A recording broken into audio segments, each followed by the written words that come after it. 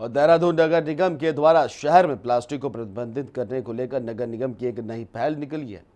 और इस क्रम में नगर निगम के द्वारा शहर भर के सभी मुख्य मार्गों पर प्लास्टिक के खिलाफ रैली निकाली गई और इसमें मेयर सुनील उनियाल गामा, मुख्य नगर आयुक्त सहित निगम के सभी पार्षदों और कर्मचारियों ने इस रैली में पहुंचकर रैली में अपना सहयोग दिया है।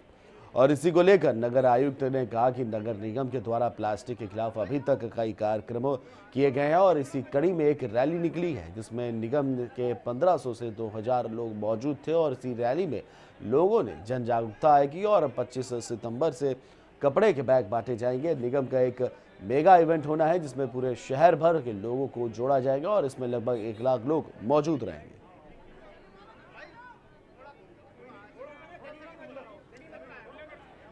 पॉलीथीन के खिलाफ हम लोगों का 27 अगस्त से जो अभियान चला है, और आप लोग भी शहर में घूम रहे होंगे, काफ़ी उसका सकारात्मक परिणाम आना शुरू हो गया है, और लोगों में काफ़ी जन जागरूकता आ गई है। हम लोगों ने कई कार्यक्रम अब तक कर लिए हैं। उसी की कड़ी में आज एक नगर निगम के लगभग डेढ़ से दो हज़ार कर्मचारियों की, सभी पार्षद गणों की, माननीय मेयर महोदय के नेतृत्व में एक रैली निकाली जा रही है, जो शहर के विभिन्न हिस्सों में घूमेगी। लोगों को इससे जन जागरण में, जन, जागरूकता फैलाने में काफ़ी मददगार होगी। और जैसा आपको विदित है कि काफ़ी बड़ी संख्या में लोग यहाँ उपस्थित हो गए हैं।